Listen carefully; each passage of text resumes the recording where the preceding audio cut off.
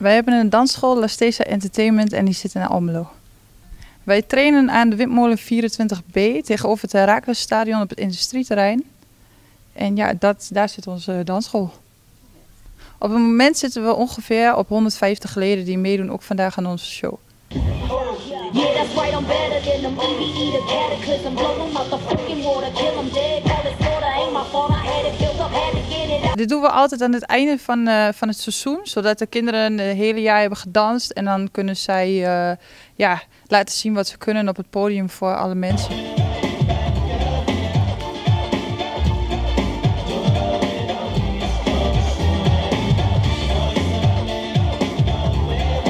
Dansen is een sport en een kunstvorm eigenlijk tegelijk. Het wordt vaak uh, over gediscussieerd wat het nou eigenlijk mag zijn. Hey, hey.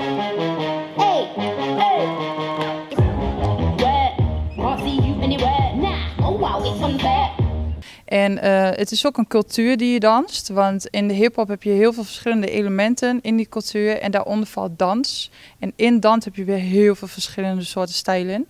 Zoals u net al misschien heeft gezien bij het optreden.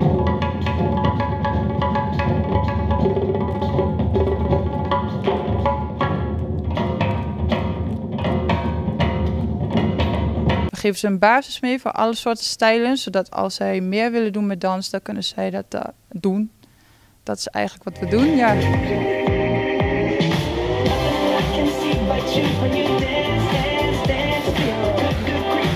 Wij geven zelf de streetdance en de hip-hop lessen. En uh, we hebben andere docenten die ook bij ons lesgeven. En die geven dan andere soorten stijlen, zoals dancehall en modern en hip-hop fam.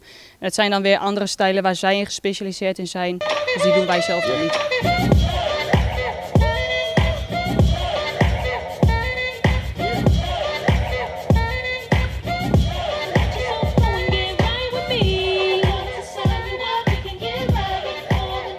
Vanaf vier jaar dan, uh, dan komen ze eigenlijk binnen en dan beginnen we inderdaad een beetje met het leren van het ritme. Dat is in het begin nog best wel lastig, maar je ziet wel, als ze dan vijf, zes worden, dan gaat het een stuk beter en dan, dan ze leren het wel. Dus het komt er wel in.